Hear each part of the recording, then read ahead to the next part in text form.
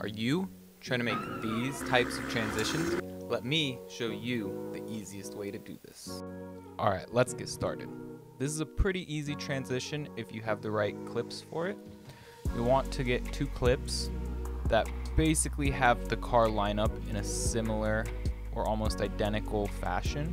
Like right here, I have the R8 where it drifts into the side and then it switches. So what I'll do, go ahead, bring the clip so it overlaps slightly, and then I'll turn down the opacity for that. Then I'll select the bottom layer, I'll scale it up position it.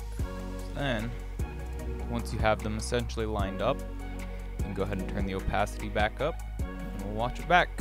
So now it looks like he goes into the drift, straight into the roller. So I'll show you this again on a different type of clip. I like doing this with wheel shots. So here I have the Supra it's panning around.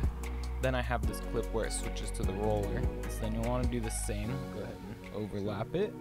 And in this clip, we're actually going to adjust the second clip size because it's smaller. So we'll zoom in. And what I like to do with like these where they're quite a bit different, I'll actually set a keyframe for the opacity. Set it to zero. Go a couple frames up, set it to 100%.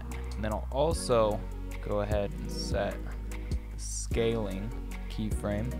I'll go to oh, the halfway point and I'll just go ahead and zoom out. Then it'll look like this. And if you want them, you can have it overlap a little more and move out that opacity. We'll also start the scaling to change also. So now little bit more transition time where it fades to. And there it is. If that helped you, make sure you leave a like and subscribe.